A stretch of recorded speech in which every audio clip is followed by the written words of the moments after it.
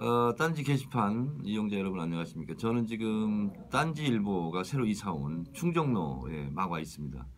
지금 김종수가 막 부를 것 같은데 어떤 미모 여성분이 이 카메라를 들이대고 어, 저에게 강요하고 있습니다. 빨리 사과해라. 왜 필리버스터 할 때 딴지 게시판 얘기를 안 했냐? 아, 그거에 대해서 어, 심각하게 반성하고 있습니다. 앞으로는 어, 딴지 게시판 어, 제가 가서 어, 직접 글을 한번 써보기도 하- 하겠습니다. 그때 너무 비난하지 마시고 어, 잘 이뻐해 주시기 바랍니다. 저 지금 막 들어가야 되니까요. 예. 아, 그때는 미안했어요. 감사합니다.